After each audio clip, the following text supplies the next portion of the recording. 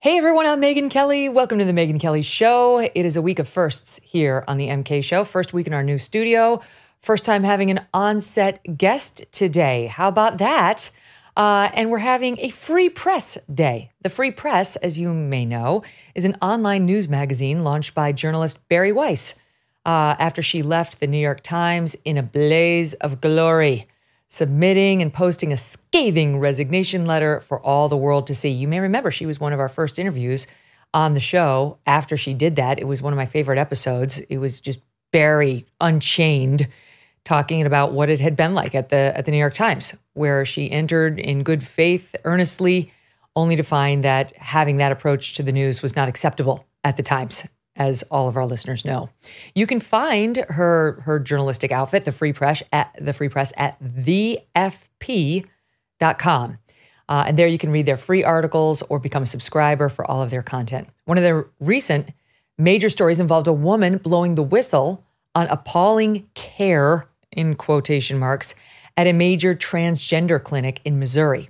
The New York Times later investigated the reporting done by the Free Press and ended up confirming the horrifying details, but that was not their mission. First, they wanted to cast doubt on it. People like Chris Hayes of MSNBC cast doubt on it, only to find out, oh, the Free Press and Bari were right all along. A bit later in the show, we're going to have David Zweig. You know, David, he was one of the few writing for places like New York Magazine during the pandemic, pushing back in that publication and others against the mask and the mandate madness. Uh, he's going to be here. And then the back half of the show, Bari's wife, Nellie Bowles. She will join me. She never goes on camera. I don't even know what Nellie looks like. I just know she's married to Bari. So we're going to get to meet Nellie and find out how she had a similar journey to Bari at the Times. The Times is creating more conservatives than Hillsdale these days. but for now, we welcome Bari back to the show. Hey, subscribe to the show on YouTube and follow me on Facebook, Instagram, and Twitter. National security experts are warning our aging power grid is more vulnerable than ever. January marked the third time a power station in North Carolina was damaged by gunfire recently. Authorities are now checking our grid for vulnerabilities. Imagine a blackout lasting not days, but weeks or months. Your life would be frozen. It'd be frozen, frozen in time right at the moment the power fails. That is why having your own solar power is more important than ever. And listen to this with the Patriot Power Generator, you get a solar generator that does not install into your house because it's portable. So it's super user friendly. You can take it with you. You can even use it inside if you want to. But it's powerful enough for your phones, for your medical devices, even for your fridge. And right now, you can go to 4patriots.com, use the code MK to get yourself 10% off your first purchase on anything in the store, including the Patriot Power Generator. You'll also get their famous guarantee for an entire year after your order, plus free shipping on orders over 97 bucks. And a portion of every sale is donated to charities who support our veterans and their families. Just go to 4patriots.com, use the code MK to get 10% off. That's 4patriots.com. Use code MK to get yours today. Bari, how you doing? Megyn, it's really, really great to be here. I don't even know if they're minting uh, conservatives. I think they're just ejecting normal liberals. But uh, yes, I'll let Kelly speak for her experience. That's right. No, I, I I know you're not actually conservatives, but you're just you're not the liberals you were when you entered the Times, or at least you've been uh, disabused of your uh, belief in those kinds of liberals and what they stood for.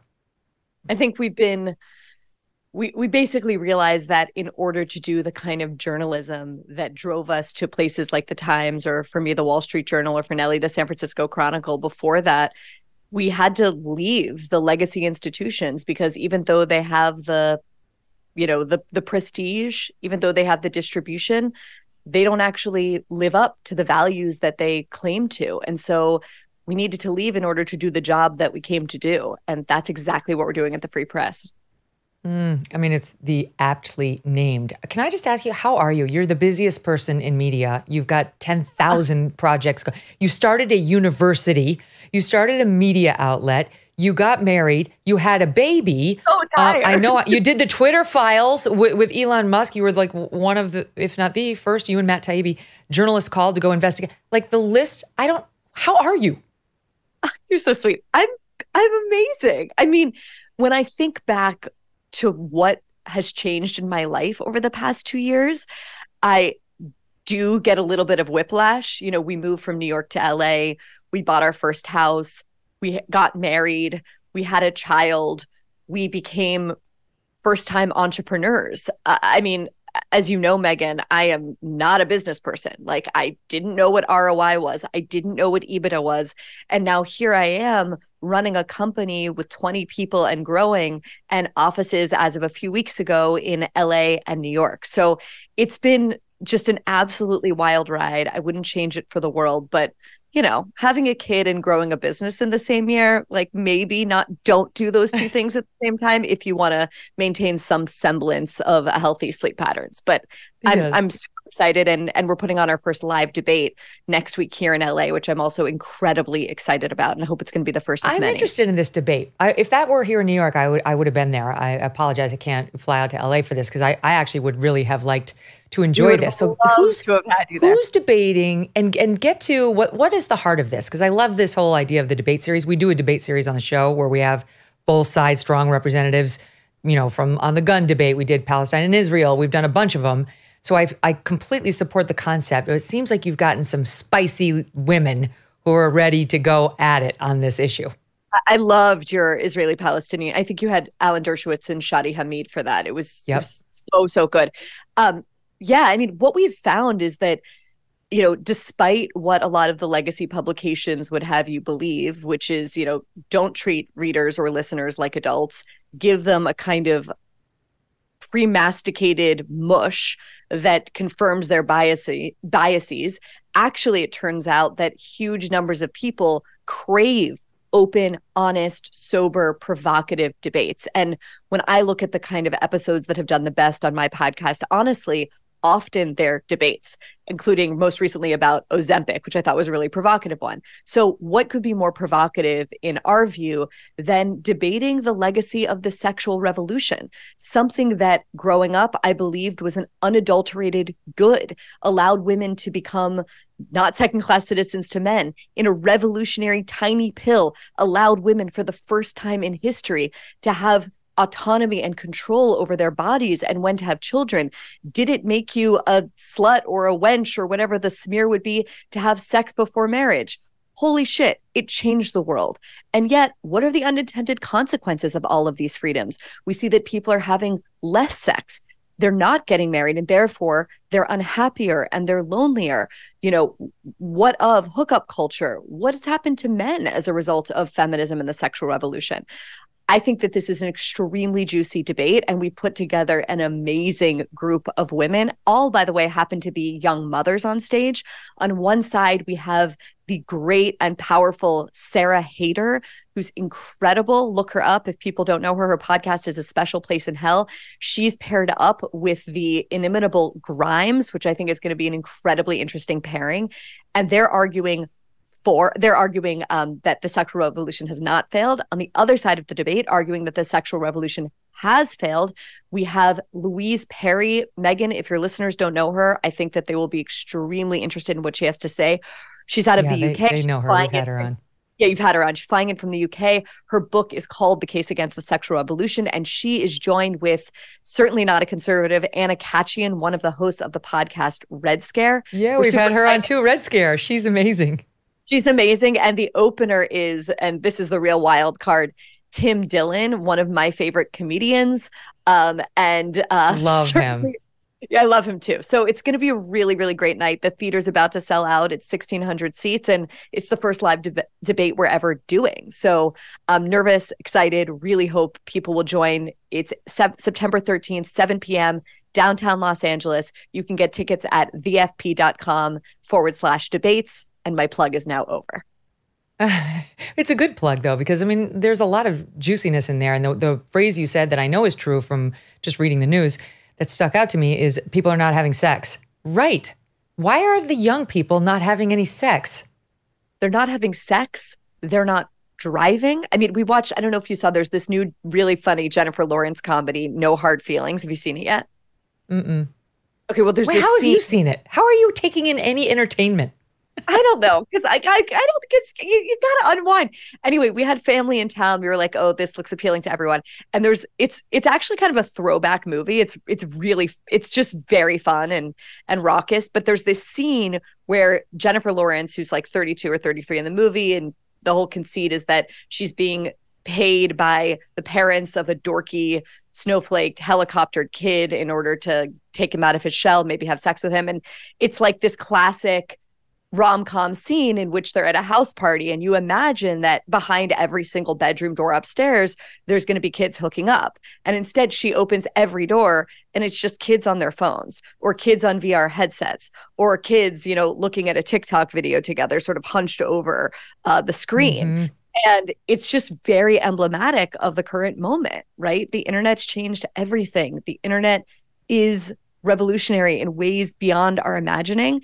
And it's definitely changing the expectations that teenagers and men and women have about sex and what it looks like, what other people's bodies should look like, and also whether or not you need to have it in the first place when you can just go and look at Pornhub. So this is like one of the many topics that we think are just really relevant to everyone's lives, men, women, gay, straight, etc. So I'm really excited to to hash it out on stage as, as the moderator of this conversation. It's such a difference from, you know, you're younger than I am, but when when both of us grew up, when you actually had to court someone a little bit, you had to actually work on building a relationship if you wanted to have sex with them. Um, now you just swipe and Tinder, and the next thing you know, somebody shows up at your at your door.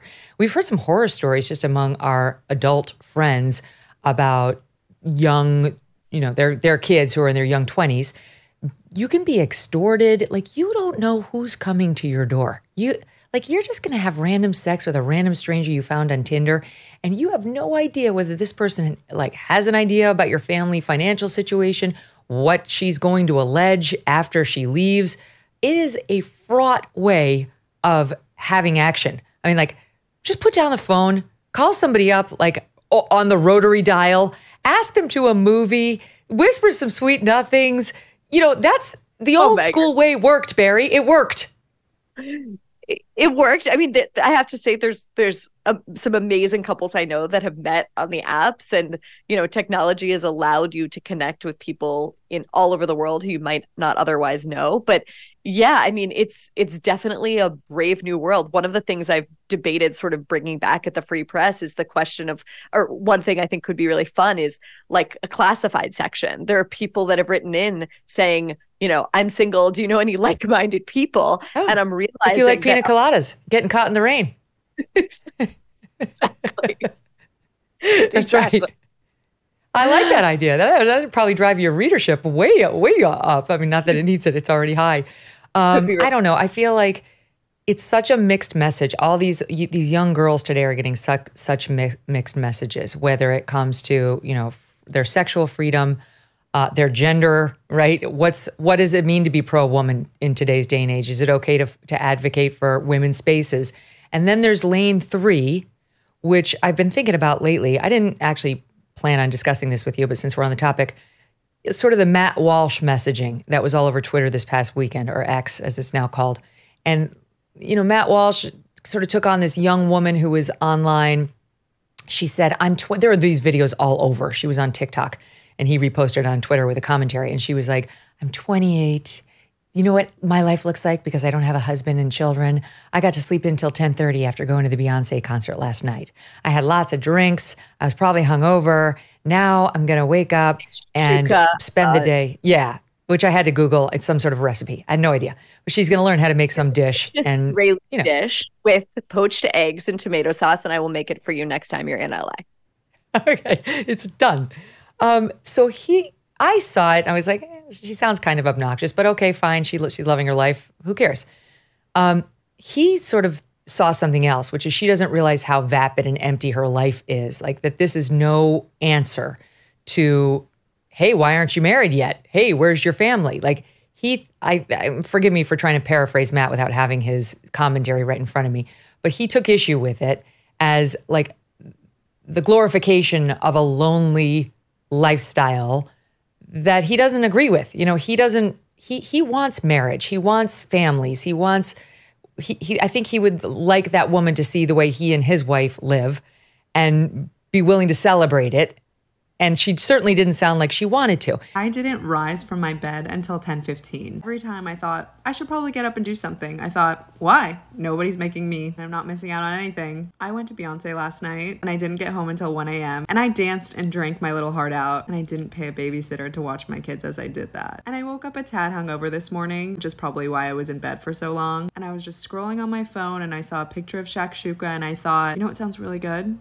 Maybe I'm gonna learn how to make shakshuka today. Because I have no plans and I don't have kids and I don't have a husband and I don't have errands to run. I can go to the grocery store and learn how to make shakshuka. Now, to me, both of these people make me a little uncomfortable, right? Like the one woman seemed a little in your face, you people who've chosen to get married and have kids, F off. I'm here with my post Beyonce hangover and it's glorious. And he's the same, frankly. You know, like, you know what it's like when you're a young woman and you're 28. I've been there, and you're not married. Everybody's asking you why you're not married. So and, it's like she's trying to say, do. like, I'm good.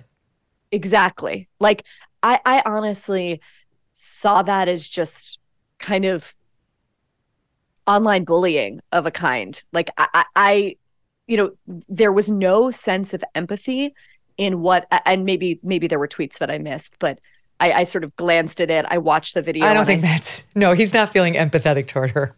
Right. Like I mean, I'm I'm divorced. I know what it is to be single and you know be on your own and and looking for a family, which thank God I I found and I'm I'm so grateful mm-hmm. that I have.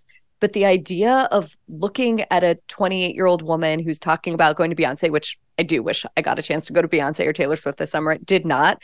Um, that that the answer to that is to dunk on her and say, you're glorifying being single. No, maybe what she's doing is telling herself and doing it in public as a way to sort of destigmatize the feelings of being alone that it's okay. And, you know, I can look out for myself and I can find meaning and happiness in a life without the things that, you know, ostensibly she, like most people, would want, which is love and happiness and the mm. meaning that comes from a family life. And so I, I just don't think that if you genuinely believe in so-called family values, that the way to advance those is dunking on people who haven't yet found it. So mm-hmm. uh, you know that's just not. I, I'm I'm not I'm not down with that sort of messaging. I, I don't it don't resonate with it. And certainly Matt Walsh believes in his family values. I'm not sure that he believes in and and marriage. I, I doubt that he believes in the kind of marriage that I'm a part of. And I believe that I and my family are, you know, just as just as valid as any other. So um, I was struck. I, I watched um, what's his documentary called? What is a woman? And I, mm, yeah. I was really impressed. There was a lot that I liked in it. And then I came to the last scene, which just made me utterly cringe, in which he walks in he's with his wife. Like, softly lit kitchen and says essentially to his wife, and you'll correct me, like, I need like not make me a sandwich, but like, or no, the wife hands him a jar of pickles or something and is like, I need yeah, help opening yeah, yeah. it. Just this like, I don't know. I for me, you lost me in that moment personally. Mm, and then and then he says to her after asking all the experts what is a woman? And no one can tell him he asks her and she says an adult human female and you right. know done. It's like a simple thing. So I, I got the message. I know what you're saying. I i have i really like matt walsh. He's been on the show. He's he's provocative. He's interesting. He's got this you know i don't know you could say dated view of the family structure of women in general. I loved what is a woman. I think it was such a force for good but I do like he, and it's not just Matt, who I love and I'd have on, but like it's not just him. There, there's like a block growing within the right that the new messaging seems to be to like women who are like you, like me, like who have choos- chosen to work, that somehow this is an abandonment of our responsibilities, that like we're missing our true calling, even though you're a mother and I'm a mother too. And we are doing it all. Not perfectly, neither are the stay at home moms. And I feel like women have actually kind of gotten to the place where we're not judging each other as much for this anymore. Like we're realizing that stay at home moms are rocking it and they've made great choices for them. And so have the working moms. And then there's like this group of men, mostly on the right, I have to say, who more and more are like sending out these kind of nasty messages about how somehow there's been some dereliction of duty by those of us who have chosen to have professions in addition to families.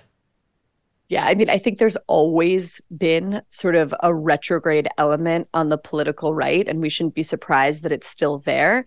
But if we want to sort of put it in cultural context right now, I think one of the things that's happening is that as the sort of illiberal left or the woke left has gotten um, especially sort of disconnected from reality, it has given a sort of opening uh, to the right and toward the cultural right to say, look how crazy they are. The only solution is to sort of wind back the clock to the 1950s. Look how crazy they are. If you want to get back to normalcy, we need to simply, you know, go back to the moment sort of like pre-feminism, pre women's equality. And I just right. don't believe that. Period. Right, like, right. I, You're right. It's reactionary in response reactionary. to the left trying to demonize the stay-at-home moms. And it's understood. You know, and, and like Right, exactly. We're, we're in the middle saying you don't have to choose. You don't have to demonize anybody. Both of those choices are totally cool and valid. And the answer to like what the left is doing to the stay-at-home moms is not to do that same thing to the working moms. Exactly. Exactly. And, and also to the women who aren't moms at all. Like the the women who have chosen not to get married and have kids or the women who would like to get married and have kids but haven't yet found the person. This is actually uh, what Matt tweeted on the gal. He he tweeted her life doesn't revolve around her family and kids. So instead, it revolves around TV shows and pop stars. Worst of all, she's too stupid to realize how depressing this is. And then she got on there. A lot of people said he was bullying her. And he said, The woman that I, quote, bullied posts constantly to TikTok about how she's 29 and single, living an easy life because she doesn't have kids. She wants people to notice these facts about her, which is why she announces them to the world daily. So I noticed and I gave my take. That's how the internet works. She's not a victim. Calm down, everyone. So I have to say, I agree with that second tweet. You put it out there, you're gonna, you know, if you don't want anybody to comment on your lifestyle, don't don't put it out there. But you know what? I, I have to say there there is this. I really try and abide by the rule, and everyone really at, at the Free Press does as well, which is act online the way you would act to someone's face. And there's too many people with huge, enormous platforms and followings online capable of sicking their followers on I don't know the woman's name who posted the video. And there's just a sort of like a lack of responsi- responsibility I see among a lot of people um, that sort of have no hesitation about saying to someone, you're dumb. And I say to myself every single time before I tweet, would I say this to the person's face? And if the answer okay, now the no, only people I say that about generally are Karine Jean Pierre. And well, I could think of a couple, but yeah, I would say that to her 100%. You're too dumb for your job. I'm sorry.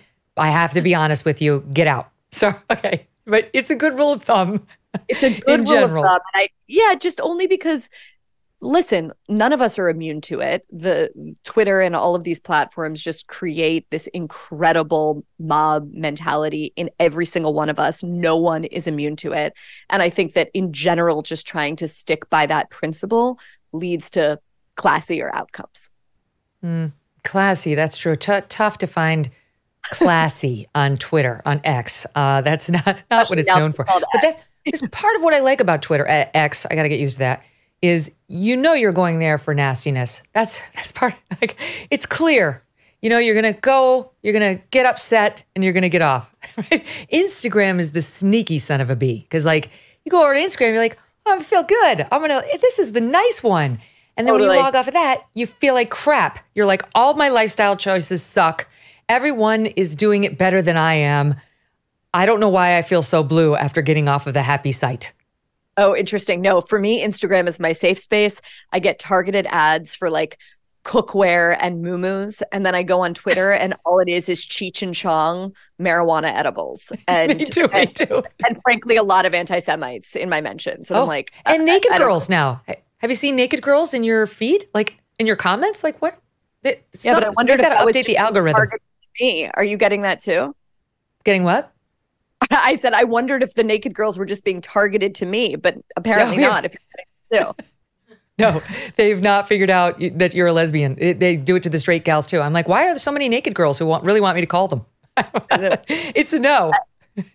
Twitter is a I mean, all of these, like, it's a mess. And the people that actually have the wherewithal and the discipline, unlike me, to log off entirely are going to be massively more productive than I am. So yeah. kudos to all of the people I saw that are taking, you know, August off or whatever. I think it's amazing. Yeah, it's true. All right. Now, one of the great things about the free press is, as we discussed off the top, you can cover stories that will not be covered in the mainstream, that would never be delved into at places like the Times on a regular basis. And the few times that the Times has tried to delve into the transing of children, however you want to refer to it, the, the medicalization of children who say they have some gender confusion, they've gotten a lot of blowback if they come anywhere near to a fair story GLAAD, which ran out of things to do once gays and lesbians got the right to same sex marriage and kind of achieved equality, has turned itself into entirely to this trans organization that now harasses people like the Times if they write such an article and so on, and, and now probably people like you too. Uh, so you guys took a deep dive uh, on Jamie Reed, who blew the whistle, as I said in the intro, on this clinic that was providing this so called care. It's anything of the kind, uh, but that, anything but that at this clinic. And immediately the reaction by many on the left, including, as I pointed out, Chris Hayes of MSNBC, was, hmm, I don't think so. I, I doubt it. So, can you set it up for us? What happened with Jamie sure. Reed, the pushback, and where it landed? So, six months ago, for those who haven't read the story, we published this really explosive whistleblowing account from the woman that we've been mentioning in this conversation. Her name is Jamie Reed. Jamie Reed is not someone that has a political axe to grind. She identifies as queer. Her partner is actually a trans man. Politically, she says she's to the left of Bernie Sanders, and she has dedicated her life to working for vulnerable populations. That is why she took a job at the Pediatric Gender Clinic at Washington University in St. Louis, Missouri. But she says in the four years that she spent there, what she saw, in her words, was morally and medically appalling. She says she saw teenagers, vulnerable teenagers with multiple mental health problems, rushed into life altering treatments, including possible sterilization, that they, as teenagers, in her view, couldn't possibly consent to. She wrote in the piece predicting exactly what the reaction would be. She said this I am speaking out doing i am doing so knowing how toxic the public conversation around this highly contentious issue is and the ways that my testimony she says might be misused. But i'm doing so knowing that i do and i'm doing so knowing that i'm putting myself at serious personal and professional risk. But she said she was doing so because her reputation and her personal comfort were less important than the lives of these vulnerable patients she knew she would be demonized, and that's exactly what happened. She was demonized, she was disavowed. We were accused of journalistic malpractice for publishing the piece. The day after the piece published, I've never seen such a sort of rapid reaction to a piece of journalism, Missouri's attorney general announced an investigation into the gender clinic. And you would imagine that such a story would inspire journalists just just pique their curiosity to say, wow, what is this woman talking about? She's a very you know she she's not a political conservative. She's not a right winger. She she obviously is not transphobic. She is with a person who is transgender. Maybe we should look into that. But instead largely what you saw was reactions like those from Chris Hayes. People saying there's something fishy about this story accusing us of sort of um, not having the full picture and and sort of demonizing Jamie Reed cut to two weeks ago, and the New York Times publishes a story, in the words of the New York Post, vindicating ours, largely substantiating Jamie Reed's claims, talking about how the clinic was overwhelmed and how people were sort of being rushed into treatment that they didn't fully understand. Teenagers with, again, complex mental health issues. And obviously, Megyn, as you know, when you break a story and other publications follow it, mm-hmm. as happens a lot of the time with the free press. It's very professionally gratifying. But the reason that this story was especially important and gratifying for us to have substantiated was because it's exactly the kind of story that we exist to pursue. It's exactly the kind of morally naughty story in which journalists avoid pursuing it because they know they will be punished or smeared for doing so. That is why the free press exists. And it exists to sort of ask the questions that a lot of people are asking themselves quietly. Questions like How did this become the medical consensus? Can teenagers really consent to life altering medical decisions? You know, we don't allow teenagers to do all kinds of things. And yet we're allowing them to do this. Why and how? And just covering those topics, not in a histrionic way, but in a sober, fair minded, honest, frank way that treats readers like adults. That is what we're trying to do. And that is what we're so incredibly proud to have done in this particular situation. Well, this this is one of the reasons why the free press is so important because I think, and I, I know it's not homogenous, but I think there are a lot of liberals who read it and who are your fan and who, you know, maybe they're not, you know, openly anti woke because their social circles won't allow that, but they're sympathetic toward what you write about and the causes that you that you write about and, and, like an article like this. And so they have an outlet where they see smart people who share their politics saying the things. That's better for someone like that than hearing it from you know the daily wire right? Like love the daily wire um, amazing but they're not going to go there. So they love you they respect you they followed you at the times and they hear you in your news uh, outlet your new news outlet writing about these things talking about the it gives them permission it's okay they're not alone right Right. And I think what we're trying to do is very old school. You know, it's very basic. It's just good, honest journalism, right? It, it should pique our curiosity that suddenly in certain states in this country that happen to be on the coasts and not often in other states, there's enormous numbers of young teenage girls who are identifying as transgender. That is a medical mystery, one that should be one that should provoke and make curious and you know make journalists whose job is to pursue their curiosity interested in. And yet there are entire areas of american political and cultural life that have simply become off limits. You're simply not allowed to pursue stories in those areas. And i think that most people right? Just most Americans, the majority of Americans, the politically homeless, the we talk about them as the coalition of the sane, people who don't identify on the hard left or the hard right, people who simply want accurate information about institutions and which ones they should trust and not, about schools and which ones are trying to indoctrinate their kids and which ones aren't, about cities and which ones are safe and which ones aren't. Basic information that people need in order to make decisions about their lives. Turns out there's a huge number of people that still hunger for that, who don't simply want ideological news, who want accurate, fair, sober news and and great storytelling and that is what we're trying to do with the free press we're for anybody who seeks that, regardless of how you voted for, regardless of how you used to affiliate. And frankly, for people who look at those boxes and just say, I don't fit into either of those anymore. That's me. Mm-hmm. And I think that that's a lot of our readers. Mm, this is this is how Bari and I first became friends because even though we're we've talked about this, but like maybe she's a four on the political scale and I'm a, I guess six. Um, there's room in there. There's plenty of room for people to get along and talk about ideas and you know, disagreements too, but so much common ground.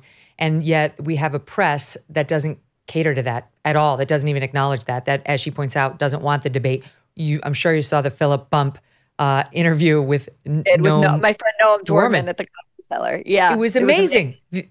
Totally non curious, uh, didn't hear it, fingers in the ears. No, it isn't happening. It isn't happening. That's why they leave the lane so wide open for people like you and yours truly. Bari Weiss, so good to see you. Hang in there, lady. Wonderful to be on, Megyn. As a pleasure as always. She's got so much going on. Send a prayer Bari's way. She's a busy, busy person in a great way. And thank God for us, she is. Coming up, another free press contributor who you know well if you've been listening to this program, and that's David Zweig, one of the bravest men in New York. He's here on our new set, our first on set guest. Doug Brunt is in the house too. He's he's been our mixologist today because I felt like we needed to have a cocktail, given the fact that we're having our first on-set guest. That's next. Don't go away. Negative dings on credit reports happen to all sorts of people from all socioeconomic backgrounds. Understanding the credit landscape can be extremely tough, and spending the time to dispute and repair these so called dings can be a full time job. Good luck to you if you have kids and a nine to five job. For starters, you have to deal with three separate credit bureaus. It's a massive headache. It's also a common misconception that people with poor credit scores are just those who simply don't pay their credit card bill. These can be hardworking people who are negatively affected by divorce, identity theft, medical debt, student loans, and don't have the time or are simply too overwhelmed to fix it. But if you do not address negative credit items, they will come back to haunt you and possibly for years to come. And when it counts the most, like when you're trying to get a mortgage at a competitive rate. And we know that being relegated to the status of renter versus homeowner can be a huge obstacle that some face when trying to move their family up in the economic class ladder over the course of their lifetimes. The good news is that our new sponsor, Lexington Law, would like to help you. Go to lexingtonlaw.com, start today with a free consultation and review, and tell them Megyn sent you. lexingtonlaw.com. Joining me now on set for the first time is our first on set guest, David Zweig. He's a contributor to the Free Press and has written for many, many magazines and was the bra- was one of the bravest voices we had during the COVID pandemic, pushing back against mask mandates and other mandates. And we've now stolen a page out of the Doug Brunt dedicated podcast book um, by having a signature cocktail on the set. Doug Brunt has actually made these cocktails for us. It's a little early in the day for cocktails, David, but we have to do it because it's celebratory. Welcome to the show. Thanks for having me. How's it going? It's going great. Oh, it's so fun to have you here. I'm thrilled to be here at the uh, inauguration. Thank you very much. um, yeah, and this is this is what my husband does on his book podcast, where he interviews authors. Is he makes a bunch of booze and they drink it. So cheers. Cheers. Yeah. Yay to the studio. See if I'm still sitting at the end of this. Fall over. Mm. Oh, that's excellent. That's powerful. That's a real martini. That's, Gin It's for real. with the twist. I have to say the twist is nice. It's nice. Are you a martini drinker? Yeah, On occasion. Yeah. Do you do go for the vodka or like the the real Gin. martini yeah, is gin. Yeah. and that's why you have to have the twist and not an olive. It's, it's a little more civilized. Don't you think? Yes. Yeah. Okay. Um, all right. Let's get down to Fauci. okay. Let's get down to facts and Fauci. Uh, unbelievable appearance uh, with Michael Smerconish, who's also a SiriusXM host. Uh, this weekend at his CNN job, he hosts a weekend show on CNN, and got out there. And Smerconish, it was a thing of beauty. I'm sure you loved it too. Raised the Bret Stephens uh, piece. He writes for the New York Times, a conservative who writes for the New York Times, um, about masks and how they don't work, and citing like a definitive study, like it's one of those massive mega studies going after Fauci on the subject. And Fauci, I think on his heels, he tried to sort of, well, we'll we'll play it for the audience. Here it is. Okay. Uh, Bret Stephens in the Times talked about Cochrane. Put that on the screen. The most rigorous and comprehensive analysis of scientific studies conducted on the efficacy of masks for reducing Yeah, the spread of respiratory illness, including COVID 19, was published last month. Its conclusions, said Tom Jefferson, the Oxford epidemiologist who is the lead author, were unambiguous. There is just no evidence that they, masks, make any difference, he told the journalist Maryanne Demasi, full stop. But wait, hold on. What about the N95 masks as opposed to the lower quality surgical or cloth masks? Makes no difference. None of it, he said. Well, what about the studies that initially persuaded policymakers to impose mask mandates? They were convinced by non randomized studies, flawed observational studies. How do we get beyond that finding of that particular review? Yeah, but there are other studies, Michael, that show at an individual level for individual. When you're talking about the effect on the epidemic or the pandemic as a whole, the data are less strong. There you go. You see hmm. that, that that's the qualifier. And the guy who did that, who's the Cochrane lead author, his name is Tom Jefferson, responded to Fauci uh, in an interview with journalist Maryanne Demasi, who's posted on Substack, saying, So Fauci's saying masks work for individuals, but not at the population level. That doesn't make sense. He said there are other studies. What studies? Says this guy Jefferson. He doesn't name them, so you know he, conveniently we cannot go and try to interpret them. But he he explains this guy Jefferson that the entire point of the Cochrane review was to systemically sift through all available randomized data on physical interventions like masks and determine whether they were useful or were not. And the masks were not. There was no evidence, he said, that masks reduced transmission. This is he continues to try to obfuscate even when he's caught dead to rights. I mean, I think most or at least a lot of humans tend to be defensive if they said one thing and then they're caught in that thing being wrong, particularly for something as contentious of an issue as masks. Um, I forget, it's a couple years ago at this point, but I wrote a large piece for New York Magazine and then another one for The Atlantic that were, I think, some of the first really major pieces in sort of mainstream publications that really looked at the evidence. What are we doing here? That's how we first yeah. fell in love with you here at the Megyn Kelly Show. right. So, you know, my, my focus to, to a large extent has been on kids and schools. And I was saying, what are we doing? You know, what, what is the evidence for this? And you looked at at what the CDC was showing. It was a study of two hairdressers and all this random stuff. It was just a bunch of junk. And um, it was it was a really bizarre moment for me, particularly in a study that the CDC had published um, about these schools in Arizona. It was a lie. And then uh, you came on and talked about this and how Rochelle Walensky kept repeating the lie of the conclusion. Sorry, finish your point. Yeah, no, you're absolutely right. And it was, they knew that the information was incorrect because I had gotten the actual data from um, the state of Arizona and from the, the counties. So this was official data that I got. It wasn't my version of it or my interpretation. And I emailed with the editors at the journal at the CDC and the study authors. And I said, hey, the, the statistics you have in your paper differ from the statistics um, that the state is giving me. How can this be? They're the official numbers. And they wrote back and said, there are no errors.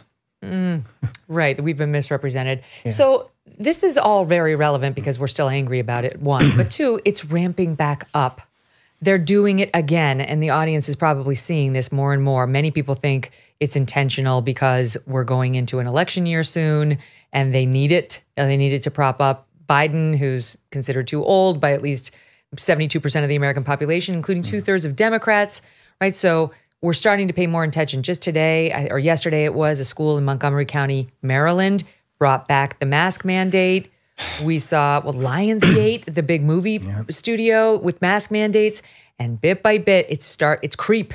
It's yeah. creep.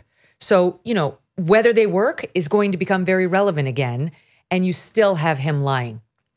Well, yeah, that that's why it's so important, I think, for journalists to not only act as a amplifier for what public officials or experts tell them, but to actually look at the underlying evidence. And that's sort of what I've been trying to do from day one. We were told certain things. I'm like, okay, they said this, but I always have a healthy skepticism. Well, let me see what, what's the underlying support for what these people are telling me. And, and the more I kept digging, there didn't seem to be a really good foundation in a lot of instances. And, you know, with community masking, that certainly is one of the cases. We don't is need. There, is there a situation though, David, where like for you, you see the mask come off? Because I think we go into this with Anthony Fauci, many of us thinking, okay, who's that little guy? Okay, all right, they're putting him in charge. He seems to know a lot about disease and viruses. Like, okay, we'll listen.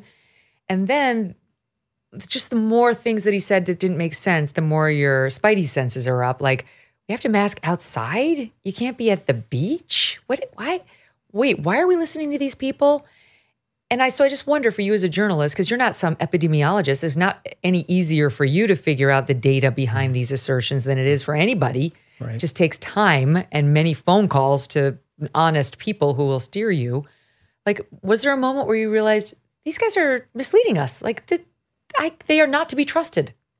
It was it was definitely sort of this this cascade of, of moments. And like I said, referring before when I was emailing with the, I was convinced, you know, once I, I remember emailing back and forth with, with my editor at the Atlantic, I'm like, well, obviously, once I email with, um, once I, you know, send the editors at the journal um, from the CDC, I got them. You know, like I was convinced, and I, I was astonished when I got the reply that there were no errors in the study. It was, you know, this word gets overused a lot, but there was a degree of gaslighting. It was, it was unreal. Um, so that was probably for me. That was my kind of like moment where something within me, I, I felt a, just a, a sense of betrayal, actually. You know, we sort of, most people i think have a healthy skepticism of big business of of the government in general of all these large institutions of society. But somehow that skepticism seemed to vanish for a lot of people and particularly i think for a lot of journalists when it came to the pandemic and when it came to what public health officials or experts um, were telling them And one of the things that's interesting, because you were talking about Fauci with masks, is he's one person and someone who is, you know, a lab scientist, they have no expertise in understanding the effects of non-pharmaceutical interventions. But yet you have certain people who an emergency room physician or these other people who were constantly in the media who had no particular expertise in any of these matters at all. Yet they were, you know, uh, speaking about them on a regular basis. So we have to be careful about who we call, quote, an expert. Now, anyone should, of course, be allowed to speak about any topic. But again, I get back to this point show me the evidence. Mm. Don't so. And what happened time and again was you had people just saying things without actually showing the support. And as we all know, in the beginning of the pandemic, um, we were initially told, don't bother with masks. Don't. And then there was a span of a few weeks from the last time Fauci had said that publicly to when the advice did a 180 and changed completely. There was no change in evidence between those no. two times. There was no randomized control trial that came out. Nothing changed. The only thing that changed was they said that, oh, we see that people who aren't symptomatic are spreading more, and we can get into that if yeah. we want to.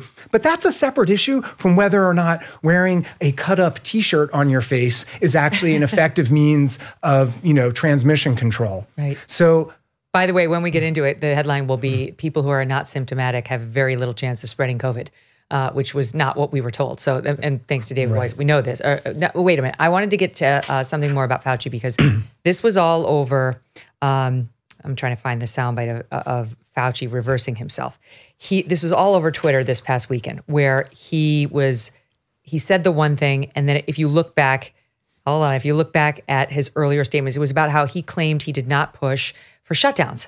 Um, that's his new line that he did not push for shutdowns. It wasn't Anthony Fauci. Just in case you have any doubt that they're going to push you to mask again, here's Karine Jean Pierre saying Biden's going to be doing it right now because the first lady has COVID. First of all, I didn't recommend locking anything down. And the record will show, Neil, that we didn't recommend shutting everything down. I recommended to the president that we shut the country down. Uh, and that was a very difficult decision because I knew it would have serious economic consequences, which it did. That's amazing. So, one of the things that bothers me so much is this notion that we didn't force anyone to do anything. And, you know, the CDC doesn't make laws generally the cdc makes recommendations and you know and this happened with um, one of the things that i'd written about was with vaccines and remarkably, I interviewed one of the people on the CDC's advisory committee, and one of their large discussions was on whether they should use the word should or may for um, children getting the booster. And they settled on the word should. And I asked her, you know, well, how did you come to this conclusion? I didn't, you didn't, there wasn't any evidence presented. What, what? And she said, well, we were afraid that people, um, it was too confusing just to say, oh. just to say may do this. But we found that people were confused. So we just wanted to make it shoulds. And I said, but when you use that language, that then gets interpreted by many people who are in charge of schools and other places as an invitation to require it. Words matter. So when you have someone like Fauci or other people saying, I never shut down a school, yes, Anthony Fauci did not go up with a padlock on the doors of a school. But when he gives his advice, when the CDC gives their advice and their guidance, those words then get interpreted by others. I mean, to me, it's really a distinction th- th- without a difference. It's it's we know it's, that it's because dishonest. we lived it. We right. lived it. I mean, right. our schools mandated the vaccine. The kids were being kicked out because they didn't get the vaccine. The only reason my kids didn't kick, get kicked out is because they weren't yet 16. Mm. But I mean, every week we got the really looking forward to getting Yates's vaccination card, getting Yardley's vaccination update. Mm. Well, you're a long time waiting. It's not coming. And I thank God I didn't I didn't stick them with that vaccine. Mm. I'm sorry I did it to myself.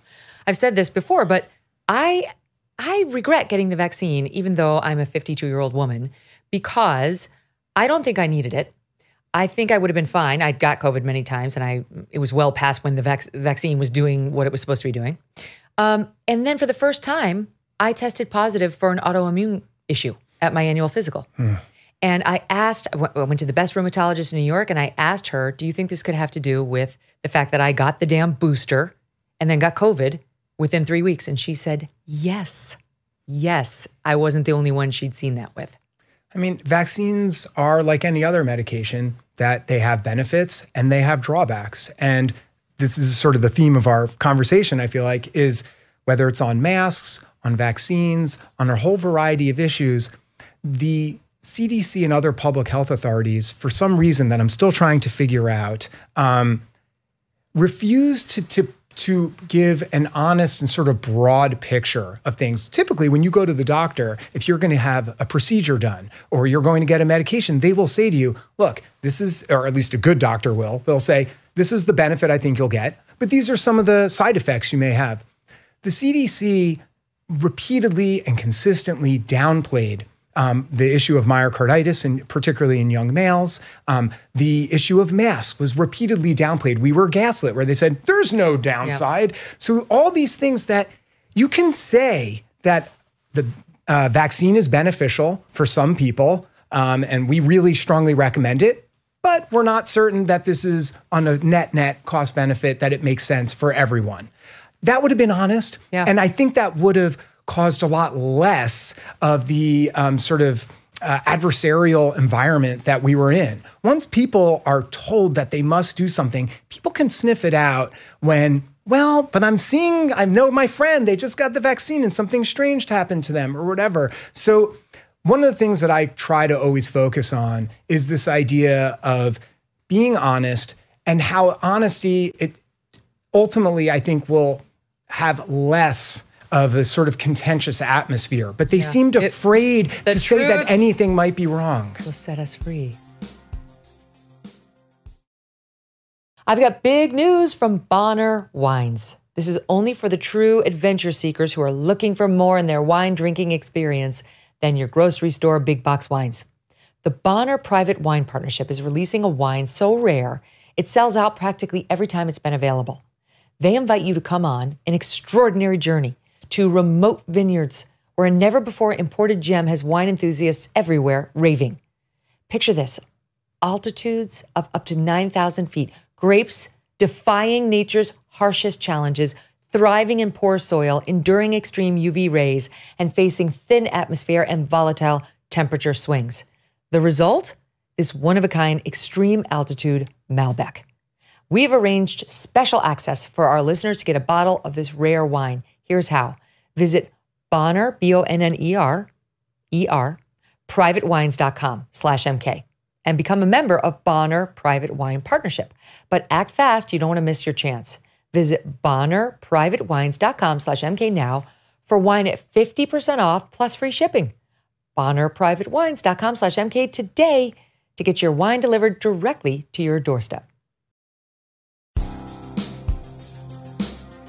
And we're back now with journalist David Zweig, who's with me uh, from, well, among other publications, The Free Press. What's the name of the Substack so people can support you? Silentlunch.net. Why Silent Lunch?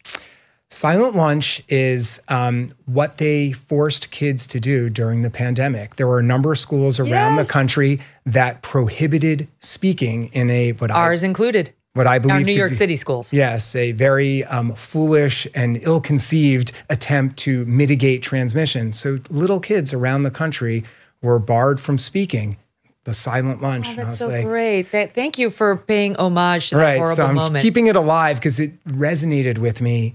I, I, it's again yet another unreal sort of moment of of just utter craziness on so many levels. and they were behind plexiglass, so they couldn't speak to the person like you and I are right now. Oh, I mean, behind plexiglass and you can't speak. They used to try to sneak it by leaning back and talking to the person behind them, and they would get in trouble. This is at our insane New York City schools. that's right. And I, I'm sure I've told you the story, but then at my daughter's school in New York, then they'd go outside for recess where they all had to be masked outside. And the girls came up with, they decided because there was no like arts and crafts or theater or anything, everything was shut down but the essentials. Um, they started to rehearse the show Hamilton. One of the girls in their school had seen it and loved it, and she knew the songs and was teaching the other girls Hamilton, which you'd think at any normal school they'd be like, that's great. No, the music teacher of all people was out there running around saying, shh, whisper. You have to whisper the lyrics And this was outdoors. outside. I mean, it's just it's Insane. I wrote about a school in uh, a private school in Ithaca, New York, that as of last spring still required a silent lunch, indoor masking, and uh, outdoor masking. Oh my God. Was it an, like K through 12 school? This is a Montessori school. I think it was K through eight. Oh. Um, yeah, it's it's just it was remarkable. It's, But it's, it's coming back to like some colleges now. It's coming back to the White House. I was going to play this before, but here's Karine Jean Pierre talking about Joe Biden because the first lady has COVID.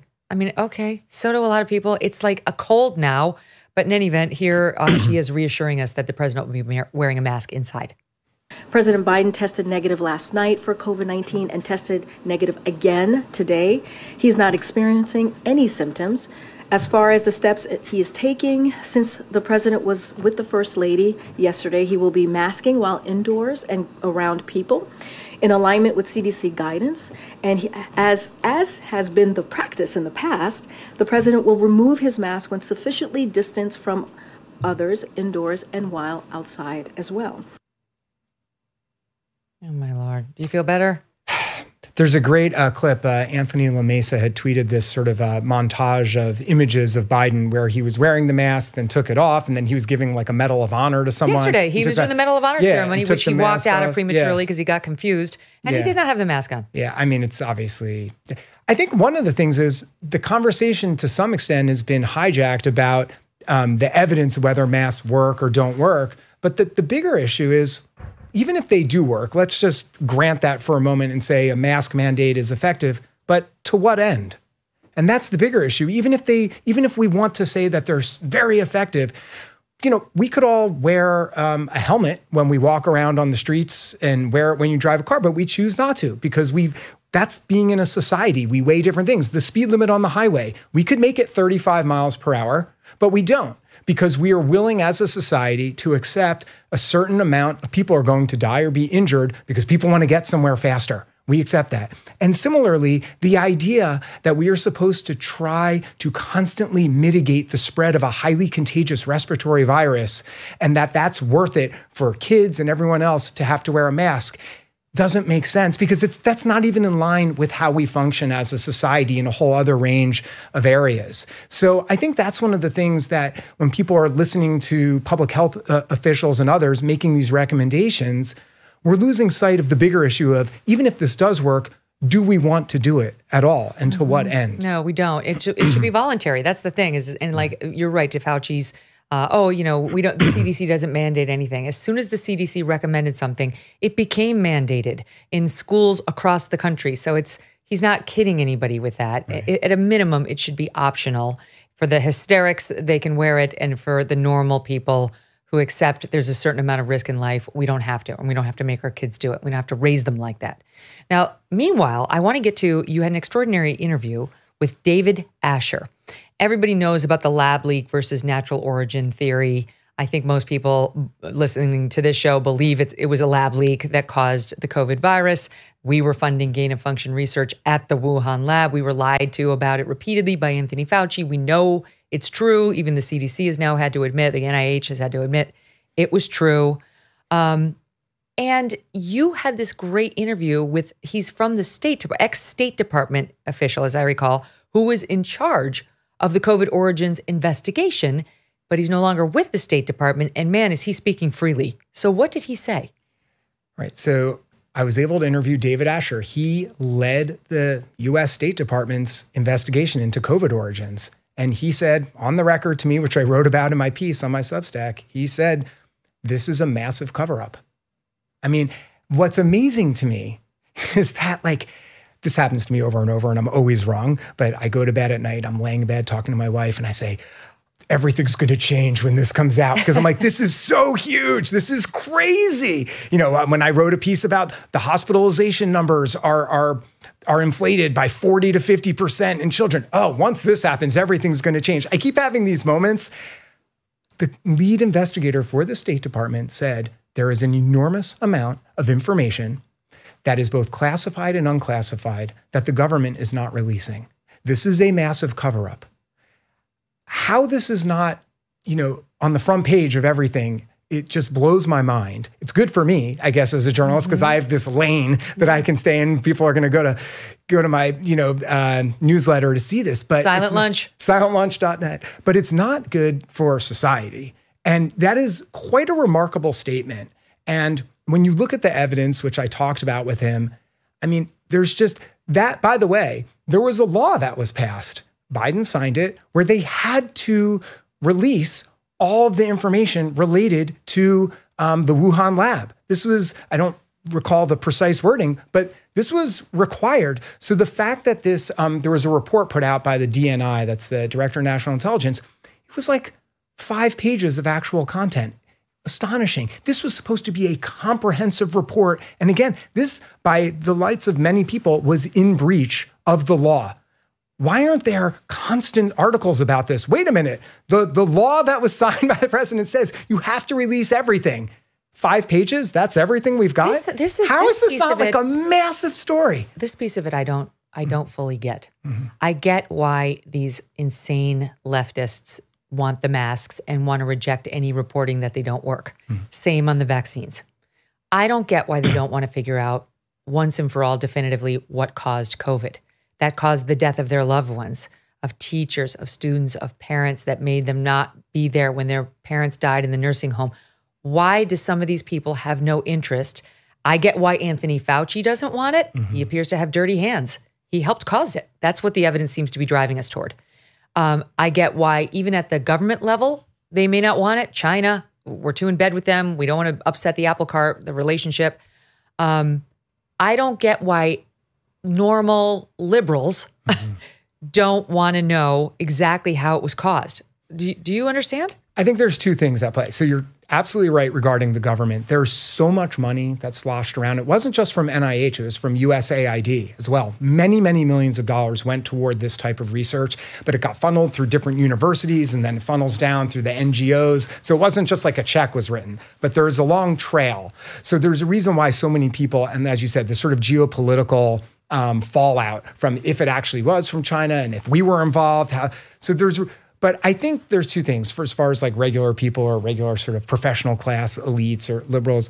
I think a lot of them do want to know. It just doesn't get covered by MSNBC or whatever because they, and I also think the other ones who don't want to know, it's because this has been coded as right wing from day one. Um, when you had a, a lead reporter at the New York Times who had tweeted and then deleted something about, you know, this is racist. Right. So The lab leak theory. Right. And so I think once something gets branded in a specific way as right wing, it's very, you know, it's it's really um, it just calcifies for people in the in the public conversation and in this political dynamic. And I think it's very hard for people, both publicly, but perhaps even for themselves, to allow themselves to feel like maybe they're on the other team, you know, mm-hmm. because that's how something gets branded. And that happened with me over and over again during the pandemic, particularly early on. I would talk with top infectious disease specialists, top immunologists, epidemiologists, and every conversation began with, I didn't vote for Trump, but, and that's how every, every, they had to sort of like establish that, like, wait a minute, don't worry, I'm not on the wrong team, but this is a bunch of bullshit, you know, and whatever we were going to talk about. The fact that every conversation had to start off with this preamble by someone who's, you know, at an elite university, at a top flight hospital, that they felt that they had to do that, that's to me indicative of the larger problem. So I think a lot of it is just how things get coded in our public conversation. And once they're associated with the wrong team, it just doesn't matter. It's impenetrable to evidence or logic. Another layer of that is their deification of Fauci. I mean, they they fell in love. he became a political lightning rod. They dug in as opposed to saying I'm open-minded that maybe he's misleading and what exactly did he fund and not fund and what role did he have in telling us all via that one origins paper that is definitely not a lab leak was he involved because that's been you know I think debunked is the, the correct word they they've dug in Fauci is a saint Fauci's been unfairly attacked. Fauci is our superhero. And so they're not willing to hear any news that would belie that that belief. You covered this, we covered this too. Um, it's to me, I've said this to the audience, it's wonderful to me that the Republicans have control of the House. Divided government is a good thing. And thank God that they did, because otherwise we wouldn't have half of the documents we have on Hunter Biden. We wouldn't have any of those documents. And we wouldn't have the documents that we got on COVID origins, on Fauci, and how that paper came about in, was it March of 2020? It was March or was it April 2020? April, yeah, I think it April was 2020. published, yeah. Uh, I always screw up whether it was nature or science. Um, thing, think- right? yeah. It's like it's basically the same. They're the publication. same thing, Coke or Pepsi. Okay, exactly. So the, one of the big, um, Right. you know, uh, medical journals. Uh, and it was all Fauci's favorite virologists, some 11, 12 of them, who had gotten on a phone call and started out by saying, We think this is a lab leak. This looks very much like a lab leak. And then within 48 hours, reversed themselves on it. Uh, you've done reporting on this too. And when you saw that trove of documents that came out of the House Republican Committee on the Pandemic, they got the actual documents showing the back and forth between Francis Collins and Fauci and all these virologists and the manipulations and the, the amount of coordination, I should say. What was your reaction? It was a pretty remarkable uh, amount of material where we were looking at emails as well as um, Slack um, messages between the different virologists and others. And well, the one thing that stuck out to me, and again, same theme about honesty, when Anthony Fauci first spoke about this paper um, at a White House press briefing, he just mentioned it as if it was just, you know, these people, I don't know them. I'll see if I can, you know, get it for you later, these virologists. He never mentioned, oh, I was on the phone with them. I was thanked in an email privately from them for helping out, you know, for, for offering assistance or guidance with the paper. Um, that doesn't mean that he manipulated what happened. I don't know. We're not privy to, to that. But what we do know is he certainly was involved on some level. And I think just from an optics standpoint, to pretend that this was just some objective scientific endeavor that he had absolutely no investment in or involvement in would seem to be quite misleading, um, in my view. And the underlying papers that we got reveal that, I mean, we knew to some extent, and now we know beyond a shadow of a doubt, that they all believed it was lab leak, that they had serious questions about the theory of natural origin. Their expertise was telling them in the first look at this virus, this thing definitely looks man-made. It's all reflected in their emails and their their correspondence with one another. And then within 48 hours, after talking to Fauci and Collins, they did a 180. And we know Fauci and Collins were concerned about China, about the relationship with China, about science and all the coordination we do with them. They didn't want anything that would turn the public on China. Uh, Robert Garry was one of those scientists who was involved in the whole thing. He actually, to his credit, to his credit, came on our show oh, and answered tough questions. We pulled hmm. up just a bit of it. Here's hmm. what happened. Hmm. Why why did you originally think that it was likely from a lab? Because we've seen in your correspondence with Fauci and Collins that you initially took a look at this along with other virologists and experts and said um, things like, "I can't think of a plausible natural scenario." That was February second, twenty twenty, where you get a bat virus or one very similar to it. Um, where you insert exactly these amino acids and nucleotides that all have to be added and so on.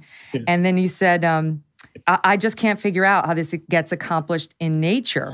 Then you spoke to Anthony Fauci and uh, Francis Collins, and then within days you completely reversed yourself and did a 180 and said it's lab. It's it, it can't possibly be lab leak. It is nature. Yeah. So l- let me correct that a little bit. I mean that that was one Sure. email. I mean, wasn't it just days? Wasn't it just two days later that you reversed yourself and said, uh, "Actually, no. Okay, I forget what I said about it coming from a lab. I now say It, it natural." wasn't really a, ver- a reversal. Well, what happened in those 48 hours? What changed? What What did you see?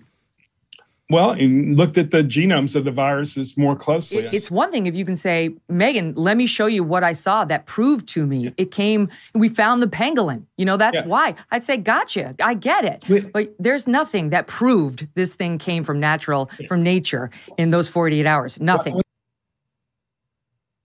Yeah, so that, we got, that, that was fun. that went over well. I mean, look, scientists are allowed to change their mind um, as they review the data. I've interviewed a lot of scientists in this space, and there was no difference in in the evidence that would warrant not just you know not just a little bit of a change, but we're talking about a 180 degree And switch. Some were, some switched to. I think it was definitely a lab leak. To two days later, it's racist to say it's lab leak. Right. And it went, I think the language initially in the paper was something like it's unlikely, and then it was changed to implausible or something like that. So, and typically, when I read a lot of scientific papers, they're generally fairly understated in, in, in their claims. You know, um, and this was this was somewhat unusual in its um, aggressiveness in how strongly they asserted um, their conclusions. And by the way, this wasn't really a study. This was just a I forget the classification in the journal, but but it's it's like a commentary. This was not like a proper study. Yeah. Anyway, but that's how it's often referred to.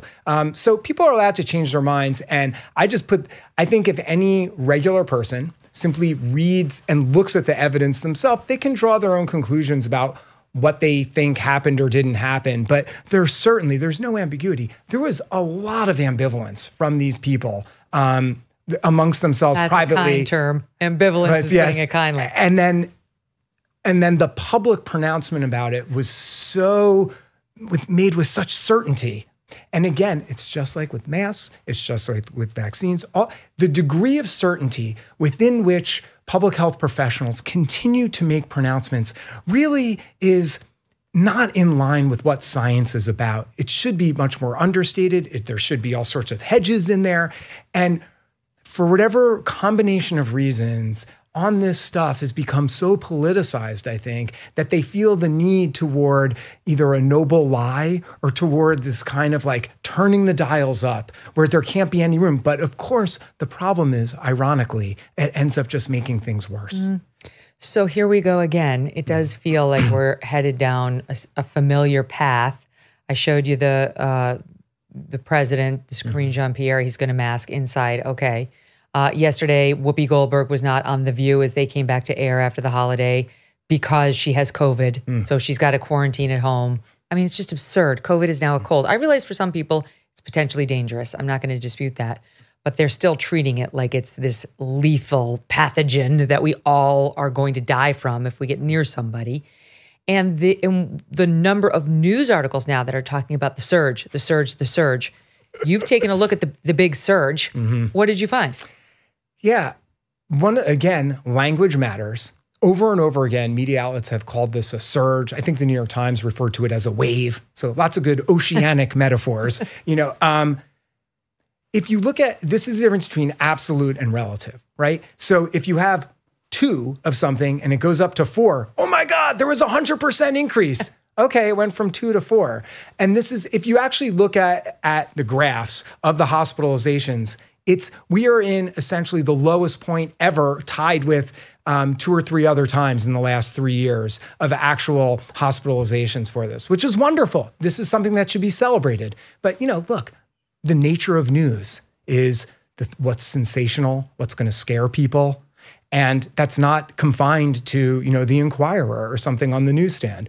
This is how the major media operates. So using terms like the surge, and it's not just the media, it's also a lot of public health professionals. Um, and I went after one of them in my Substack um, who, who, who had talked about this. But the idea that a small, uh, that, that a large increase of a very tiny number that means something and that matters. Context matters. So it's just one of the things that bothers me when when this type of language is used purposefully to scare people and perhaps purposefully to um, justify certain policies. Yeah. Um, I see you raising your eyebrows. Yeah. So uh, you know, it's an election year we're going into. They don't want mailing ballot, ballots to go away. That was absolutely helpful to Joe Biden for many reasons, even the above board reasons, never mind the suspicions about what may have happened below board. Um, and they think it ramps up their base. May also help somebody like Governor DeSantis, not for nothing. But uh, most of us don't want it. I mean, I think people who are still part of, as Bari said, sort of the sane coalition, are going to rebel if anybody tries lockdowns, school closures, vaccine or mask mandates again. Well, there were a couple universities that did put in put in place mask mandates, and as you mentioned, Lionsgate. So I suspect there are always going to be these pockets in our society, perhaps for quite a long time, um, maybe in perpetuity, that are going to be susceptible to kind of doing these types of actions. Hopefully, it's not going to be a broad-based thing. But again, the type, I, you know, it's a dirty thing for people to do your own research. You're like a, a moron and a bad person. But the fact, and look, and I get it. People have jobs. They have, they don't have time to do their. own. That's that's why I'm here. That's you know, and other people. I'm trying. I'm the crazy person who actually then starts reading the studies or is looking at the charts from the CDC. You you must be a rip roaring fun time at dinner. Your wife is like, for the love of God, stop talking my, about that. my daughter, uh, her eyes could not roll back any further. The next time I, each time I talk about absolute versus relative difference in the number of cases, but people need to actually look at the evidence, not what people, not the words that they're being told. At, just take five minutes and look at the actual numbers. or don't and, and, just go to Or- right. free or silent lunch, Lunch. not free lunch, silentlunch.net. Right, or you could go there. Yeah. exactly. So th- that's that's one of the things, and it's both a blessing and a curse. But that's my own sort of thing that I see this, and I just feel compelled. I have to look it up and say, well, wait a minute, is this really a surge? What does that mean? And you had um, this physician at uh, University of California, San Francisco, who has a very large following. Um, guy named Bob Wachter, who had said the reason that the, there's more COVID prevalence is because people, quote, let their guard down. Oh my God. And it was just, there, there's no evidence for that claim whatsoever. I mean, schools have been running at capacity for you know a year or longer. Businesses are open. People are Taylor Swift's you know tour has been sold out. People are living normally. There, there is no evidence behind this claim. This is someone with hundreds of thousands of followers who's on the media constantly giving, you know, espousing his views on what people should and shouldn't do. And he is saying, and the problem with this is, is that it makes us seem like we have more agency than we really do. And I'm not a religious person, but I understand why I think a lot of religious people during the pandemic made out quite well in a lot of regards. Not all of them. And some people, I'm not saying an old person shouldn't have been vaccinated because there's a certain amount of like, of of acknowledging there's a limit to what we can control. Yeah. And there's a hubris, I think, in a lot of public health people to think that we have more agency, that we have more control than we actually do. And when you have that degree of hubris, it causes all these sort of this cascade of second order effects. And you need to think through if we're going to implement this thing, what are the dominoes that are going to fall on the other side after we put this in place? You need a certain amount of humility. And I think a lot of that was lost. And that's what worries me. Mm. You see why we love David Zweig. Uh, you're welcome back anytime. Thank you so much for all you do. Thanks for having me, Megyn. Treasure. What a treasure. Um, okay, up next, another Free Press contributor, somebody I've never spoken to before. She's head of strategy. She also happens to be Bari Weiss's wife. Nellie Bowles joins us for the first time. We'll talk about her exit Khaleesi like from the New York Times as well. I'll tell you who the unsung heroes of COVID are. Of course, the frontline workers. But what about those business owners who hung in there and paid their employees during the pandemic? If you stayed open and paid your people, you could be eligible for up to 26,000 bucks per employee at covidtaxrelief.org. $26,000 per employee. This is not a loan. These are government funds that you don't have to pay back. All types of businesses, including nonprofits and churches, can be eligible. But you need to apply now because Congress may pull the funds. COVIDtaxrelief.org has helped tens of thousands of businesses just like yours and secured over $500 million. And unlike others, they charge nothing, absolutely nothing up front. They do all the work, then share a percentage of the cash they get for you. You did the tough thing for your employees during COVID. Now let covidtaxrelief.org help you get up to 26,000 bucks per employee. Visit covidtaxrelief.org. covidtaxrelief.org. covidtaxrelief.org org. Oh, some of that funky new music. We updated our music. I'm just now hearing some of the tracks. Yeah. Yeah, it does remind me of Pornhub. No, I'm just I've never been on Pornhub. what is it? What did the fifth column guys say? I'm getting my own OnlyFans. OnlyFans. it's a little OnlyFansy. Poor Nellie Bowles. She didn't realize you can have to be dealing with this. Um, she is also a free press. She's here. She's also a free press. I could just bring her up. Let the people see Nellie. She was a longtime reporter at legacy media outlets like the New York Times, San Francisco Chronicle. She has seen it all, and including today. She's seeing quite a lot. Uh, she does not do many interviews, but we are honored to have her here today. Nellie, so nice to meet you. It's such a pleasure to be here. And I, I don't do many interviews. And I see on your desk that you guys were having some cocktails earlier. A little. This is the problem. Oh, you know, it's no accident. Abby took it away. She took away my cocktail before I'd finished it. What happened, Abigail? Is that a, is that a hint? Okay, I get it. She's like, we're making porn references. It's over.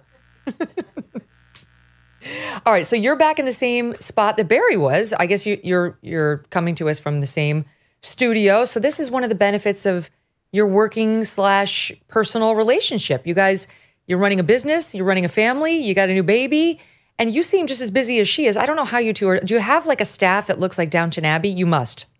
No, we're just exhausted. I need some of that. One of your ads was for a lightening ointment of some sort, which I definitely Jenny need cell. for some dark spots. Um, I'm yeah, going to send running, some to you. We've got a baby. We're this is Bear's sort of backyard studio, converted garage, um, and the podcast recorded out of here. It's a mess, and we're having a blast to be honest it's a lot of work yeah. but it's going well and it's there's been a lot of interest in what we're doing and it's been heartening honestly well you i was talking with david david about this about how he, he's loving i think it was during a break i'm trying to remember whether it was on air or i think it was off but he was just saying how much he's loving being independent and how mm-hmm you know, he used to see that the, in his circles there was a cachet in like saying, "Oh, I had a piece in the Times this weekend," and now he just couldn't care less. He loves being on his own and being able to write the truth. Again, support him at silentlunch.net. But that's you and Bari have had very similar experiences. So let's just go back before you left the Times. Yeah. Like let's just go back because it seemed to me I, I, characterized you earlier you characterized yourself I, I described you as a liberal like bari a, a, pretty liberal going into the new york times probably dream job until it wasn't so what dream. what happened it was the only dream job i could ever have imagined i mean um, growing up getting on the front page of the times was literally my singular aspiration i used to look up the names of the reporters and look and see how they'd gotten there, read their whole career trajectory. Um, and honestly, for a few years of the Times, I had an amazing time, and I had a lot of great editors who were wonderful. Um, basically, what happened with me was not quite as dramatic as what happened with Bear. It was, it was that as 2020 came and as the sort of boundaries for what was allowed to be reported on got tighter and tighter I started to feel very constricted in where my curiosity could lead. And I was a, I started as a business reporter. I was kind of a free ranging features reporter. Um, and I couldn't cover a lot of the most interesting stuff. Editors were kind of making that very difficult. And um, my colleagues were making that very difficult when I tried to cover things, um, such as like, you know, the most interesting stuff that was going on that year, like Chaz, Chop, whatever you want to call it, in Seattle um, where a group of Antifa activists took over the neighborhood, a gay neighborhood of Seattle, and, and declared it an autonomous zone. I like neighborhood. Um, is that a new? Is that a new term? I like neighborhood. That works. only, only for internal gay use. Um, but got it. I, I found basically I wasn't allowed to write about a lot of things I was really curious about writing about, and so that was happening. Then when I was with Bear, obviously I started getting kind of treated like a not cool kid in high school or something, which was hard because I was always cool in high school.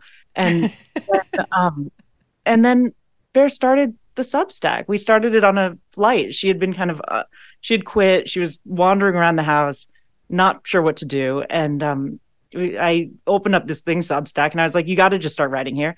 And and then she started having a lot of fun on it, and it was a hit, and it was growing, and it was making more money than she had made at the times, then twice as much money she was made at the times. And and it was like there was a lot of interest, there was traffic. And um honestly, like part of me quit the Times because I was frustrated with what was going on. But I had a really good experience there in a lot of ways. I loved my bosses and stuff. And but part of me quit because there was a lot more fun in the new world. Like you said, what David mm-hmm. was saying. The new world is really exciting and positive and it felt fun and it felt like happy and exuberant and i was so thrilled to be part of that and so i quit and i joined and and trying to explain to my parents why i was quitting the new york times to join bariweiss.substack.com was um was a little bit crazy but but they they came around and and then yeah now now we've kind of made it into a little media company. Yeah and growing by the day.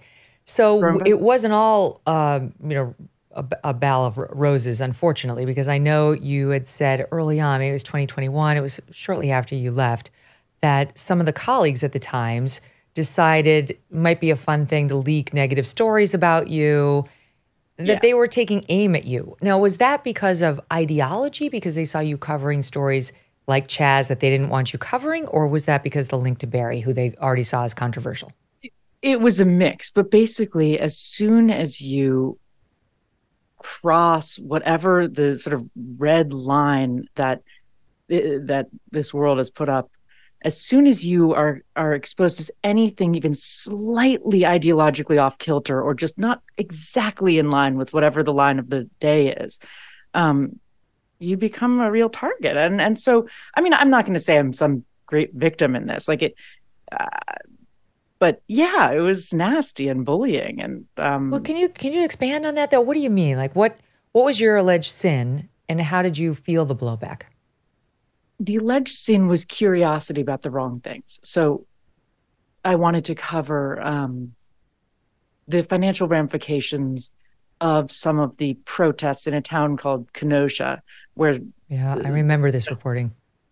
Yeah, where like the minority owned businesses of the poor neighborhood had been completely burned and destroyed and they were all underinsured and they were kind of begging for attention and begging for people to care about what was going on. Of course, the wealthier area of town had boarded up their windows and had proper insurance and were totally fine. Anyway, so I pitched this story and wanted to go because as a business reporter that seemed really reasonable. And um basically the story was held until after the election. It was just, I realized that politics were mm. coming into my work in a way that felt really uncomfortable and that felt um, inappropriate and weird and not just not right. And then the, the, honestly, but also the interpersonal stuff is just as much an issue as the actual work stuff, right? Like you don't want to work somewhere where people are mean to you and like so their actual opinions of you changed to where they were treating you differently yeah, people would call me a fascist on Twitter or like colleagues. I mean, again, of course. I, but this is you know this stuff. You know this is what. No, I have only ever worked with the most delightful, supportive people. I don't know what you are talking about. I mean, yeah, people were bad. I, uh, I remember this one editor. There was just sort of a drumbeat that like that like I was going to be smeared in some way. And I got a note about how I had a white gaze from an editor that that my whiteness was imbuing my work and all this stuff. And I just had this feeling of like, oh God. And then the Donald McNeil stuff happened. I don't know if you remember that, that when that amazing science reporter um, was smeared for having years ago on a trip with kids, um, yeah. repeat the N word to back to some kids after they asked him about the use of the N word and he asked them for the context of it, whatever. It was like an insane moment. It, and just, it was just that he uttered it. He uttered it. Yeah, it wasn't even like he was using it. He was repeating a story in which it was used. Exactly. And he'd been punished for for doing so, and that was probably the right thing and all of that. But this was dredged back up then in that moment and used to kind of drumbeat him out of the times and, and to smear him as a racist and as someone who had used the N word as, as though he'd like yelled it at someone. And I just was watching that and watching this career Times reporter be smeared in that way, in a way that is so humiliating and so, um, I mean, humiliating in like a broad way for his life, like his kids. Like it's like it's embarrassing. And I was like, I don't want to hang out and wait around until some folks figure out how to do that to me. Like I better go out mm. with my mm. head up at least. Anyways, you don't need to hear about the, the, me complaining about old colleagues years ago. Well, I do think it's interesting. I mean, we you know we had Sage Steele on the show last week, and we talked about what ESPN did to her for for coloring outside the lines. And in her mm. case, what she all she was saying was how she felt about being biracial. These are her feelings about herself. Not okay. And she questioned the vaccine mandates. Also not okay. You're here telling your story. I've had Lara Logan on the program talking about how they came for her when she was at CBS years ago because she did some reporting on Benghazi. They didn't like it's just, you know, it's a pattern. It's a disgusting, toxic, awful industry. And maybe it's the necessity is the mother of all invention, not just the bias, but the toxicity of that lane. And this is the absurd rules of it force people who are not insane to create something else, to go someplace else where they can do great journalism and also be happy people. Yeah, at this point, I'm grateful for it. I mean, I yeah. Bear's dad always says we should pay these folks in Brooklyn to keep tweeting mean stuff about us at this point because uh, the the insanity of that movement has become the bedrock of of all this new world um, and has yeah. allowed for a flourishing of like all the best interesting reporters are leaving and are starting their own things and are now available to join us and um, so i'm grateful for how nuts it's gotten and honestly if the times started being a little less crazy or got a little towards the center, that would be a huge threat to our business. So we're we're really uh, we're, I, you have nothing to worry about. You're good. I, I'm helping organize those GLAAD protesters outside the Times building myself. yeah, we talked about it with Bari. GLAAD is protesting the Times because they did some reporting. They they protest, protested Bari. I mean, do you think like you know Bari is an openly out lesbian in a, in a gay marriage? No, she gets protested by GLAAD because she's done fair reporting on the trans issue. It's like I don't even know what GLAAD is anymore, but they've lost the mission. The, it's been mission creep to a bad place. And speaking of creep, go ahead. Yeah, was, not you. I was going to ask a different thing. No, no, no. I'm, I probably am. But that that GLAAD situation so encapsulates the issue with um, sort of the gay activism of the moment. It's like it's like there are so many um, real anti-gay things to fight. Like there's you look at iran you look at even what's happening in italy and and yet our american organizations are focused on um, organizing around like two mildly dissident times reporters. It, it's just it's bizarre. It's really bizarre mm-hmm. and sad. It is. Um, so now we've got two key cues for this story bizarre and creep um, I take you to the University of Wyoming and the sorority Kappa Kappa Gamma, which we've been covering this case, the sorority sisters who complained about a man posing as a woman coming into their sorority. Artemis Langford is the name that he goes by now. It's a long story, Nellie. I don't use the pronouns of choice any longer. I did a whole post on it. But um, he, Artemis, was a man, I mean, like two seconds ago, uh, I'll give the audience a flavor for what Artemis looked like during the midst of the pandemic. Wasn't flirting, as far as we know, with transitioning at all. Was appearing on campus as a man. Here he was, communicating with friends, uh, putting that you know social network that you have uh, from in person to an online format uh, would be extraordinarily beneficial. And I wish that I had developed that better but living in a new environment, uh, it was really difficult. Well, that is one of the newest members of Kappa Kappa Gamma at the University of Wyoming, because he then declared that he was a woman and went into the sorority house under pressure from the national chapter.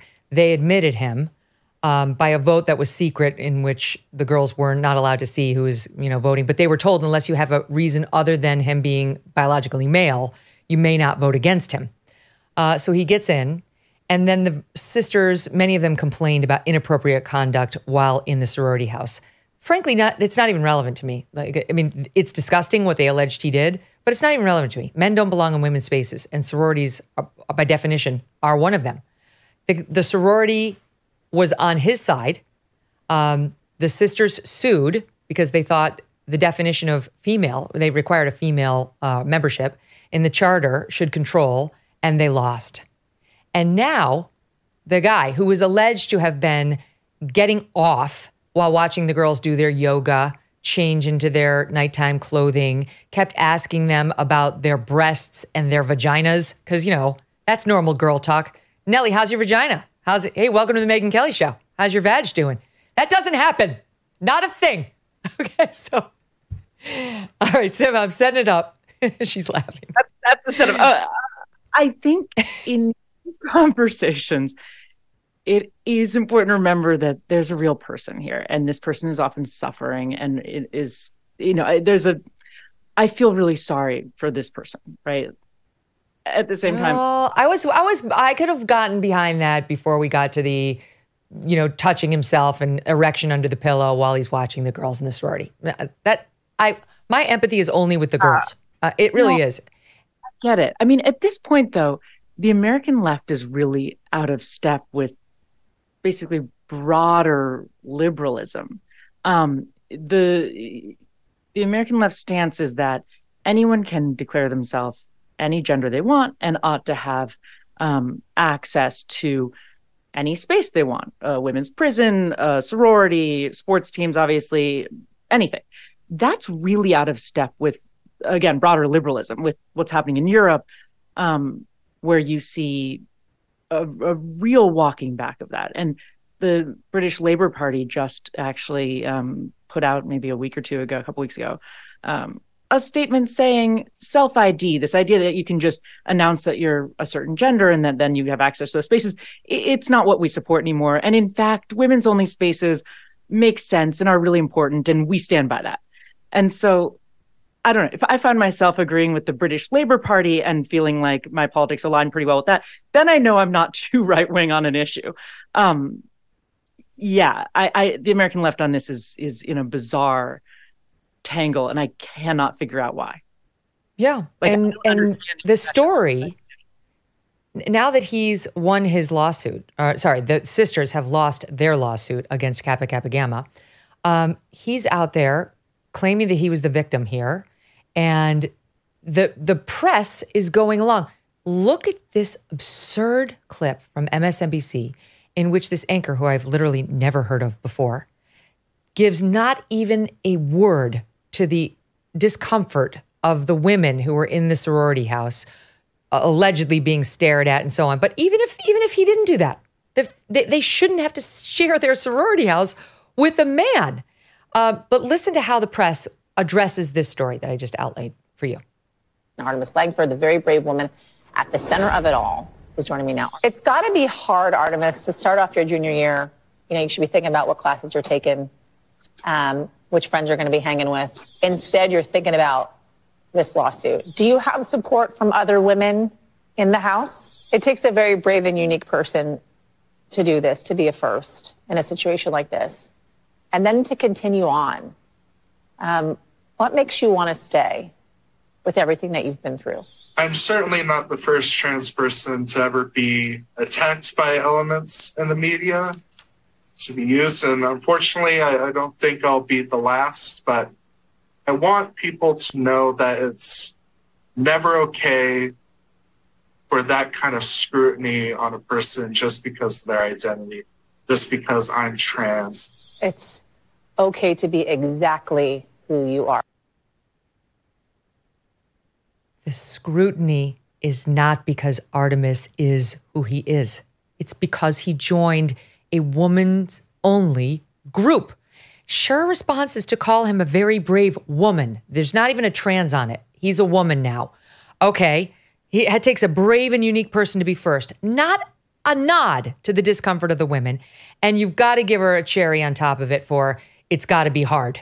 It was hard. And if you had done your homework about this case, you would know that that was part of the problem. Unknown anchor who I've never seen before. your thoughts on it? Odd that this movement that was all about believe women is now so skeptical of women saying they're uncomfortable with something. It seems really odd to me. Um, and and that the empathy is like we talked about at the start that the empathy is only with this individual and not at all with any of the other people who are being impacted by having a biological male in a women's house. Um, I, again, I don't understand why the American left has taken this stance and has become so obsessed with this hard line. It seems irrational and. Um, but this is definitely the hill they want to die on. All right, wait. I only have a couple minutes left, and I wanted to get this in because you're a California, you've been doing some reporting on Gavin Newsom. Somebody just asked him if the debate is still on between Newsom and DeSantis, which Hannity was going to host. And he said, We'll see. Do we think, because there's a lot of people, even on the left, who think the plan is for Biden to accept the nomination, to, like, to go through the, you know, the initial sort of election seasons and then pass the baton to someone like a Gavin Newsom? Do we think that's the plan and that Gavin Newsom could be a viable candidate on the national stage? I could he be viable? God, I don't. I don't know. I mean, he's fun to watch. I, I, I sort of like his scandals as a writer. His um, like wife Kimberly Guilfoyle. I like the even his COVID scandal was kind of fun. You know, he he went to the French laundry during lockdown when I was missing Thanksgiving. It was just like insane. Um, do I think he could be a viable candidate? Potentially, in that, like, I think it's very reasonable to think that Biden might not make it all the way to mm-hmm. the election. I don't know. Um, Yeah. We'll find out. I mean, the fascinating thing is if it's Trump, let's say they do that and it's Newsom versus Trump, then you've got Kimberly Guilfoyle, who used to be married to the Democratic candidate and is engaged to the son of the Republican candidate. And that will be so the most fascinating, like, viewpoint into the two men. Like, she's got to come on. She's got to tell us everything she knows, everything I'm rooting for from Kim. start to finish. Nellie Bowles, what a pleasure. Thank you so much for being here. Thank you so much for having me on. It was it was really fun. Oh, for me too. All right. And you can find her work every Friday at thefp.com and find all of the Free Press's great work by becoming a subscriber. I want to thanks uh, thank everybody for joining me here today. That was fun having a drink on the set. That's you know, like I say, my husband's that's his that's his jam. Um, and by the way, I should mention that Doug Brunt is going to be on the show soon. Um, I'll, I'll more on that later. Uh, and in the meantime, tomorrow, Ric Grenell is back. Is the GOP primary over? We'll ask him. See you then.